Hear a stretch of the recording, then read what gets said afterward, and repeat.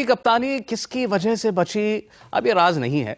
लगातार हार के बाद भी धोनी की कप्तानी हालाँकि बरकरार है। और इसी धोनी ने नागपुर टेस्ट मैच से पहले शायद कुछ ऐसा कर दिया जिससे इंग्लैंड से सीरीज़ हारने का खतरा और ज़्यादा बड़ा हो गया है। क्या किया धोनी ने अब? देखिए। धोनी का गंभीर पर वार सिर्फ़ अपने लिए खेलते हैं गंभीर। पहले हार और अब टीम में दरार।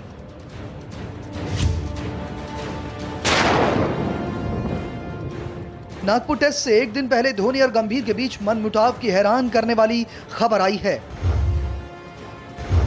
एक क्रिकेट वेबसाइट में छपी खबर के मुताबिक धोनी ने बीसीसीआई से गंभीर की शिकायत की है। टीम इंडिया के कप्तान ने गंभीर पर आरोप लगाते हुए गौतम पर टीम की बजाय खुद के बारे में सोचने का इल्ज़ाम लगाया है।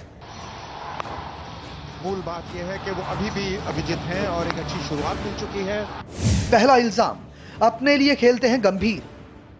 धोनी का आरोप है कि गंभीर कोलकाता टेस्ट में स्वान और मॉन्टी पनेसर की पहली गेंद या दूसरी गेंद पर एक रन लेकर टैलेंडर और नए बल्लेबाजों को फिरकी गेंदबाजों की चुनौती का सामना करने के लिए छोड़ दे रहे हैं। जबकि उस समय गंभीर को खुद उनका डट कर सामना करना चाहिए था।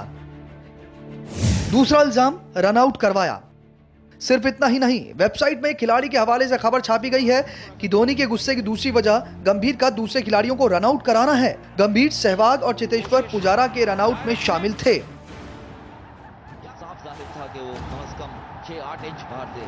पहले सहवाग रनआउट हुए, जिसमें वीरू ने तीन रन लेने की कोशिश की थी, लेकिन गंभीर ने सहवाग को सही ढंग से कॉल नहीं किया और वीरू आउट हो गए।